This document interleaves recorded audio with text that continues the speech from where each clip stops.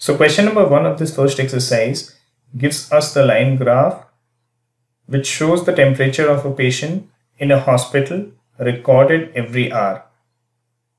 So this is a line graph where the horizontal axis or the x-axis which is this one represents the time in hours and the y-axis which is the vertical axis represents the temperature in degrees Celsius. So we'll have to observe this graph, this line graph and answer the questions that follows. Let us take each of the questions one by one. So question A asks us to find the patient's temperature at 1 pm. So if we observe the horizontal axis, which is this point, so at 1 pm, this is the point which represents the temperature at this time. And if we observe the vertical axis, so this is the point which is going to give us the temperature of the patient at this time. Now, since this point is equidistant from 36 and 37, we definitely can conclude that at 1 pm the patient's temperature was 36.5 degrees Celsius. Let us now move on to question number B where we need to answer the time when the patient's temperature was 38 degrees Celsius.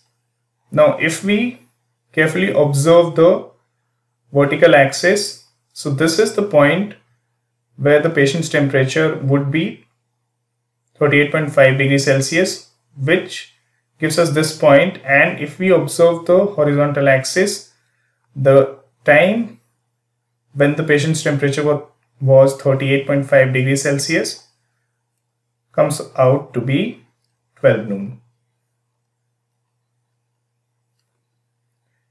Let us now move on to question C now in this question, the, it's given that the patient's temperature was the same two times during the period given. Let us now observe the horizontal axis to see what are those two times when the patient's temperature was the same. So if we observe, we see that at 1 p.m. and at 2 p.m. These are the two temperatures at these times and we see that both the at both the times the temperature of the patient was the same which if we observe the y-axis or the vertical axis we'll see that it's 36.5 so to answer this question the two times when the temperature of the patient was same are 1 pm and 2 pm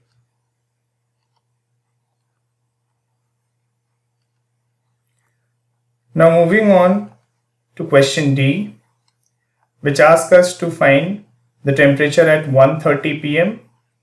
Now if we observe that from the previous question itself, we saw that between 1 pm and 2 pm, the temperature of the patient was 36.5 degrees Celsius. So since it's constant between this hour, we can definitely say that at 1.30 pm, the temperature of the patient was 36.5 degrees Celsius. And to reason out this answer, we can say that between 1 pm and 2 pm, the temperature of the patient was constant, which we can get from this line in the graph. Moving on to the last question, question E which asks us to find the periods when the patient's temperature showed an upward trend. So if we observe the graph, we see, we'll have to look out at the points where there was an increase in the patient's temperature. So the first increase will be observed between 9 am and 10 am. So I will mark this as 1. Then between 10 am and 11 am, we see that this is the second increase in the patient's temperature. Again, if we observe this part between 2 pm and 3 pm, this is the third instance when the patient's temperature increased. Hence, to answer this question, the three time periods when the patient's temperature increased was 9 am to 10 am. The second one would be 10 am to 11 am and the third time period would be 2 pm to 3 pm. So these are the different questions which was answered by observing this graph and this is how we can answer this first question of this exercise.